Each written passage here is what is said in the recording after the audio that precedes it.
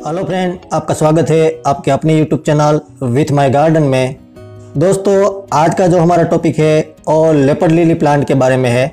वैसे तो दोस्तों, इस प्लांट के अलग अलग कई नाम है। उसमें से एक सिल्वर स्किल भी बोला जाता है इसे, और सेसला पेसीफ्लोरा भी बोला जाता है। इसके अलावा भी कुछ मुझे रिसर्च में इसके नाम मिले हैं दोस्तों। तो ये अलग अलग नामों से भी जाना जाता है, वो भी मैं आपको स्क्रीन में दे दूँगा दोस्तों। तो अब इस प्लांट की दोस्तों हम केयर की और इस प्लांट की देखभाल की और इसकी इन्फॉर्मेशन दे दोस्तों। तो ये प्लांट बहुत ही खूबसूरत प्लांट है और अपने गार्डन की खूबसूरती बढ़ाता है। उसके साथ ही दोस्तों इसमें गमले की बात करूँ तो ये मीडियम थोड़ा चौड़ाई वाला गमला होगा तो इसमें अच्छी तरह से फैलेगा और इसमें ज़्यादा गहरे वाले गमले की बहुत ज़रूरत नहीं है दोस्तों। ये प्लांट बहुत डीप में नहीं जाता है, पर थोड़ा चौड़ाई वाला होगा तो इसकी खूबसूरती है वो ज़्यादा बढ़ेगी। इसमें दोस्तों छोटे छोटे बल्ब से ये प्लांट ग्रो होता है। इसके नीचे प्याज की तरह छोटे छोटे बल्ब होते हैं। और दोस्तों, एक और भी बात बता दूँ कि ये प्लांट मैंने बल्ब से ग्रो नहीं किया है, पर इसकी हेल्थी यदि कटिंग मिल जाए, यानी कि पत्ता हेल्थी तो उसमें भी ये अपने आप को सर्वाइव कर जाता है। उसमें भी रूट बन जाते हैं और एक प्लांट से अनेक प्लांट है, वो तैयार हो सकते हैं। ऐसा नहीं है कि केवल बल्ब से ही ये ग्रो होगा। तो आप यदि प्लांट है तो ग्रो कर सकते हो पत्ते से भी दोस्तों। और इसमें मिट्टी की बात करूँ दोस्तों तो इसमें वेल्डन मिट्टी इसके लिए अच्छी है। वैसे तो ये लगता सक्यूलेंट प्लांट की तरह है, पर असल में ये सक्यूलेंट फैमिली से बिलोंग नहीं करता है। और एक इजी टू ग्रो प्लांट है तो इतनी ज़्यादा कोई केयर करने की इसकी ज़रूरत नहीं रहती है। उसके बाद दोस्तों इसमें पानी की बात करूँ तो जैसे मैंने कहा कि कि सक्यूलेंट प्लांट में जितना आ, पानी की दोस्तों रिक्वायरमेंट रहती है सेम इस प्लांट को भी इतनी ही रिक्वायरमेंट रहती है ज़्यादा इसमें वाटरिंग ना करें। जब भी आप मिट, मिट्टी है वो ड्राई हो जाए तो इसमें वाटरिंग कर सकते हो दोस्तों।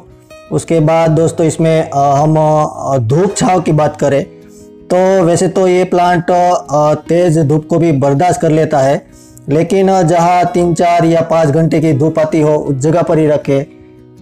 यदि समझ लीजिए कि गर्मियों का मौसम है तो इतनी इनफ है पर सर्दियों के मौसम में दोस्तों आप यदि डायरेक्ट धूप में भी रखोगे तो वहाँ भी ये अपने आप को सर्वाइव कर लेगा, ये प्लांट चलता रहेगा। लेकिन जहाँ हीट वेव होती है दोस्तों, जहाँ पूरी, समझ लीजिए प्लांट के पत्ते को जलने के चांसेस रहते हैं, उस जगह पर ना रखें, क्योंकि बहुत तेज धूप में तो ये हर एक प्लांट में कोई ना कोई दिक्कत खड़ी हो ही जाती है। वैसे तो ये प्लांट अपनी पत्तियों से बहुत ही खूबसूरत लगता है। पर इसमें दोस्तों, फूल की बात करूँ तो इसमें बहुत ही खूबसूरत वाइट कलर के छोटे छोटे फ्लावर बिना खुशबू वाले होते हैं। और एक डंडी के सहारे इसमें फ्लावर है, वो निकलते हैं। इसके पत्तों में दोस्तों कई वेरिएशन भी पाए गए हैं। वैसे तो ये प्लांट है वो दोस्तों साउथ अफ्रीका का नेटिव है। और इसमें दोस्तों फर्टिलाइज़र की बात करूँ तो वैसे कोई फर्टिलाइज़र में ज़्यादा इसमें मैंने नहीं दी है। और पौधों को जैसे काउडक वर्मी कंपोस्ट इस तरह की जो फर्टिलाइज़र देता हूँ तो इस, इसको भी मैंने ऐसी दी है, जिससे इसके पत्ते हैं वो हरे भरे रहे।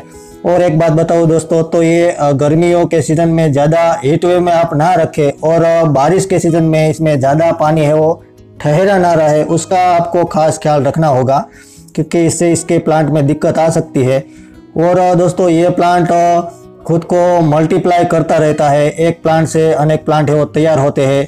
जैसे कि एक बल्ब से आप छोटे छोटे मिक्सचर प्लांट है, वो तैयार होने के साथ छोटे छोटे बेबी प्लांट भी तैयार करते रहते हैं। तो ये कुछ दिनों तक आप चाहो दोस्तों तो इसे इंडोर भी रख सकते हो, पर हल्की धूप तो कभी ना कभी आपको देनी ही पड़ेगी।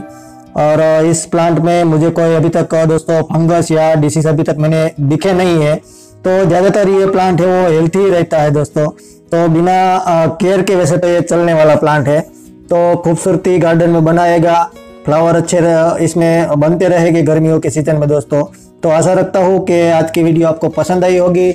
यदि पसंद आई हो तो हमारे चैनल को लाइक शेयर और सब्सक्राइब करना मत भूलिएगा दोस्तों। तो आज के लिए इतना ही। Bye bye take care